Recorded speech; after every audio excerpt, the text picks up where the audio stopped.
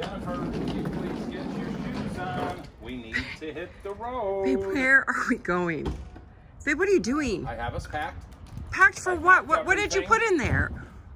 I have some of your makeup or stuff in there, a few pairs of shoes. Honey, I don't even have shoes on right now. I'm in shorts. Where Jen, are you we thinking gotta we're go. going? Where are... Oh, you can't even shut the back door. Babe. Oh, boy. What? Babe, where are we going? We are going to Naperville, Illinois. TEDx Naperville 2020. Babe, it's virtual this year, and you don't have a driver's license. Hello? I don't have a driver's license. You can drive this time. What are you talking about?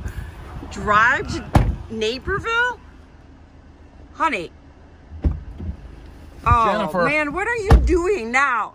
Arthur had you speak last year. I spoke a few years prior.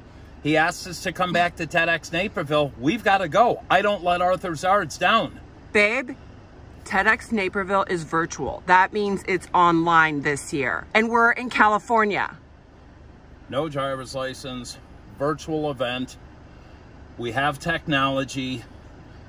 Back into the Batcave. Let's put something together for TEDx Naperville virtual 2020. Oh my God. Are you gonna unpack us? I'll unpack us. That means no. I'll have to do it.